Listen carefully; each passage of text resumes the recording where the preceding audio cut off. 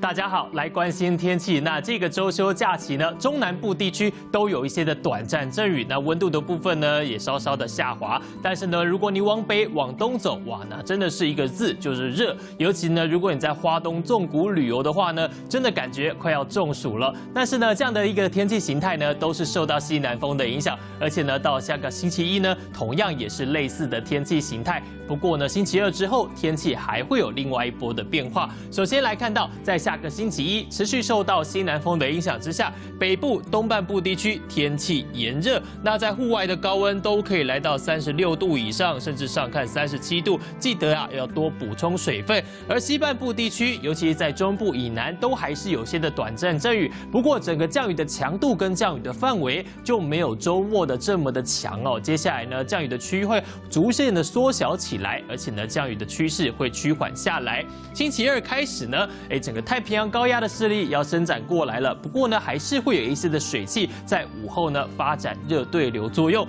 因此呢，西半部地区、中南部转晴，但是呢，中午过后还是有些午后的阵雨发展。那这样的一个新天气形态呢，从星期四之后又会有不同了，因为接下来北方会再下来一些更加干燥的热空气。那在天气上面呢，水汽减少之下，各地晴朗多云。只剩下山区偶尔会有一些的短暂阵雨，高温的部分都可以上看到三十六度哦。所以呢，到下个周末之前，天气状况是更加的晴朗炎热，一定要多加留意了。那我们先来看一下，现在在台湾附近呢，云的云图上面可以注意到，太平洋高压的势力还是比较偏东一些，但是台湾呢南侧有一些零星的水汽，顺着西南风，偶尔会把这些水汽带进来，受到地形抬升作用之下呢，晨晨晨间的时候呢，就容易在中南部地区带来。一些的短暂阵雨，中午过后偶尔也会有一些的这样对流云系发展起来。不过背风侧就会进入一个高温的区域喽。我们来看一下，在今天整体上观测数据上面累积的雨量，中部的山区有，南部地区也有，但是呢，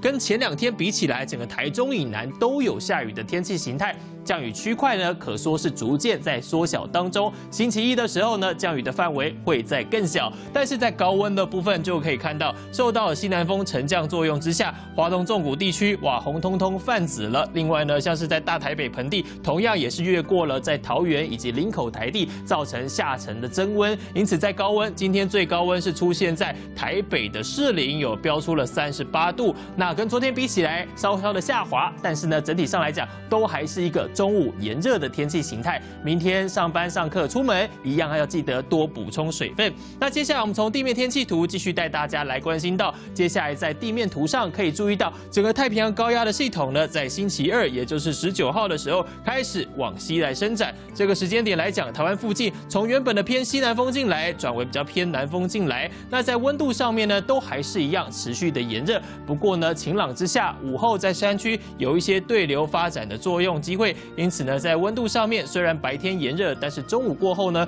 温度因为降雨会稍稍的下滑一些。整体上来讲，大致都还是晴朗的天气形态。但是我们可以看到，在星期四的时候呢，太平洋高压的势力还是有影响。但是北方这边呢，在上海附近呢，有一个高压系统逐渐在往西往东来移动，这会带来一些什么呢？比较偏干燥、晴朗、热的天空气呢，会进入到台湾的附近。因此，这样一个热带大陆形态的这样的高温呢，会进。进入到台湾周遭哦，那就代表说水汽减少了，但是呢，各地会更加的晴朗，而且呢，温度会比星期三、星期四的时候会更加炎热一些，高温各地都可以来到三十六度左右。因此，星期四之后一定要特别再注意户外活动，要多补充水分。来看到在云图上。面呢，还是要提醒大家，在今天到明天的这段时间，入夜之后虽然降雨减缓下来，但是明天晨间西南部的沿海地区还是有机会出现。一些零星的短暂阵雨了。来看到各地的详细预测，北部地区，哎，明天的高温都可以来到三十三到三十六度，尤其在台北盆地、新北市，都还是要注意局部的高温。中部地区在明天呢，云层量还是稍微偏多，高温的部分大约在三十三到三十四度，有些的短暂阵雨。南台湾明天同样呢，在北晨间跟下午的这段时间，会有一些的零星短暂阵雨，高温在三十二到三十四度。